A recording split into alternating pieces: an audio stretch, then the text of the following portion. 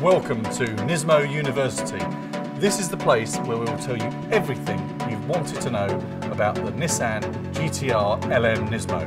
We're going to open the garage doors and let you in to see how the LMP1 car works, how we're developing it, and how we're getting ready for Le Mans. Nismo University will give you unprecedented access to the people, the cars and the engineering secrets behind the Nissan GTR LM Nismo. We're going to show the innovative features of the aerodynamics and the front wheel drive and all the other aspects of this car as we prepare the car for Le Mans. First things first, what is the GTR LM Nismo? An LMP1 car is the top class of sports car racing. It stands for Le Mans Prototype 1. We're going to be taking on three other major manufacturers, Audi, Porsche and Toyota. Our car is very different to those three. Uh, we are front engine, we're powered by the front wheels alone. Nobody else has done front wheel drive uh, in the Premier class in recent decades. We think that the putting the engine in the front of the car and driving the front wheels gives us an advantage in terms of the packaging of the car, allowing us to have better aerodynamics. This is the ultimate GTR because it's got a ridiculous amount of horsepower, more downforce than any car should have.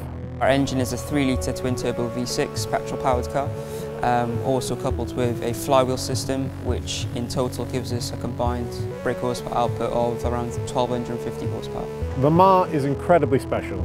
It is the most prestigious sports car race in the world. It's been holding a 24 hour race for over 90 years multiple manufacturers battling for outright honors. Hundreds of thousands of people turn up to watch the race, and it's just the greatest spectacle in racing. Le Mans is probably the most challenging race in the world. We've got nine drivers signed up, three for each of the three cars. These three drivers, they have to work together to get the most out of the car. You can drive up to around three and a half or four hours at a time, and it's very tough on the drivers. The Le Mans track is over 13 kilometers, over eight miles, uses public roads and permanent racetrack. You come bleeding down this straightaway at 340 kilometers an hour. You reef on the brakes, you do that four times a lap, over 70% full throttle on public roads. It's just madness. It's a whole F1 season in one 24-hour race.